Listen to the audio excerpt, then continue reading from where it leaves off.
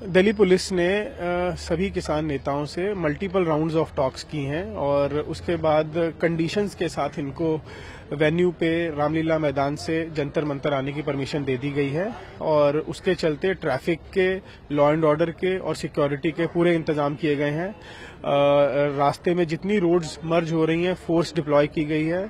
Sufficient number of barricades loud hailers और ropes arrangement में लाई गई हैं और हम उम्मीद करते हैं कि ये प्रॉपरली पीसफुली मार्च करके यहाँ पे आएँगे और जो कंडीशंस इन्होंने एक्सेप्ट करी हैं, उनका पालन करेंगे। सभी फैक्टर्स को देखकर ये अरेंजमेंट लगाया गया है। इसमें मल्टीपल लेयर ऑफ़ बैरिकेड्स हैं। सीनियर ऑफिसर्स को डिप्लॉय किया गया है। रिज़र्व फोर्स भी इस्तेमाल में लाई गई है। और कई बार इनसे बात हमारी हो चुकी है और हमें एक्सपेक्टेशन है इनसे कि ये पीसफुली अपना मार्च कंप्लीट करेंगे। और अभी संख्या लगभग, रामलीला मैदान पे सात आठ हज़ार के करीब किसान पहुँच चुके हैं और एग्जैक्ट कितने लोग मार्च में शामिल होंगे और कितने यहाँ पे आएँगे उसका अनुमान अभी नहीं लगाया जा सकता।